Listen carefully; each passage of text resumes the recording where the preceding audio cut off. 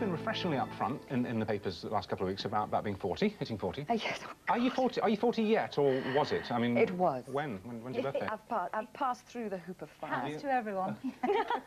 Eventually. But you, I've come of age, finally. but you're not counting backwards. The as- age as of some reason. do. Oh, no way. You're just, you've, and you've, No. you've actually said, right, fine, good, here we are, in the 40s now, so let's, uh, let's look on it as a new era. Do you, really? Did Oh, you see it yeah, as a... totally. I mean, yeah, at last you've, Yeah, you've look at you learned. different. You, you've learned an awful lot, haven't you? You know, you've been through the school of life.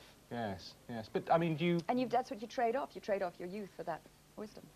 Is it, is it sad? That's though, the to see that- irony. We were talking about youth disappearing the other day, weren't we, on the programme? I mean, not, not ours, we're all looking terribly young, but I mean... sort of- Speak but I'm not. it is sad, but Think it, I'm 95. it is a sad You exchange. know, you can't be fixated on looks. It's, But act- it- act- it's- actresses are often quite, they do get worried. I mean, we, I can't remember the number of, of actors and actresses I've spoken to who say that it is a terribly difficult period when you hit that middle period in your life because you're no longer playing um, the young love interest. Mm. You're not old enough to play, you know, if you like, the, the, the character parts. Mm. Um, it's quite difficult. But actually, you do look very young for your age. So Oh, thank you very much. I think the makeup girl's probably done a very good job. well. Well, you're half, you're half Italian, aren't you? I'm half Italian, yes. Yeah. That explains it, I of think course. that must it's be, the yes. Mediterranean, that dash of Mediterranean. Well, it probably is. Um, I, no, I haven't found that difficult. I haven't found I've hit a difficult patch, but it's great for me because I have a life as well. You know, I'm not career obsessed, and also I've achieved a lot of the goals that I set out to achieve. I'm very, you know, I've done a lot of the things I wanted to do. So I have a, I have a daughter who is at an age now where I don't want to be rushing out to work. She's six, isn't she? She's getting on for seven, Seven, yes. So, I, you know, if, if there are little dry patches, I'm not too worried about it because it gives me a chance to be with her. And you're a single parent, so you, in a sense you need to have more time Yes, I do. with, with your daughter. I do. What is, I've often wondered this, what does she think of you when she sees you on the telly? I mean, did she, did she was the manageress on too late for her? Or, or No, allowed no, she watch watched it? The Manageress. Um, when she was very young, she used to say, how can you be in two places, Mummy? Yeah.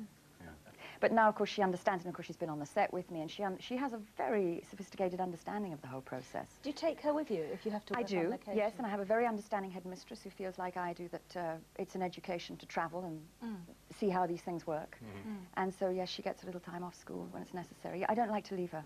I Mm. like to take her with me, and she's, of course, she's smitten. She's starstruck. She wants Well, to be I an actress. Just Yeah, she thinks it's very glamorous, does Yeah, she? well, she loves make-believe, you know. She's got an imagination. She sees Mummy making believe. She dresses up and acts a lot, and Yeah. um, Yeah. who am I to stop her? you know? Well, where would you go from, from here? I mean, obviously, possibly more Fifield series, but you were talking about, you know, moving into the 40s. How would you see your, your career moving? I mean, what sort of parts would you like to get into? Oh, I don't know. It's like being asked what you want for Christmas. You know, your mind goes a blank. Um, Because you're not pigeonholed. It's hard to, I mean, one can't actually say Well, no, that I you are known for such and such. and, and that's what I would hope to sustain, uh, because I think every actor doesn't uh, wants to be challenged and stretched in different directions and be as versatile as they possibly can, go on developing and refining their craft. Hmm.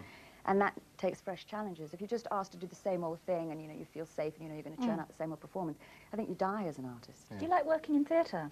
Yes, I love theatre.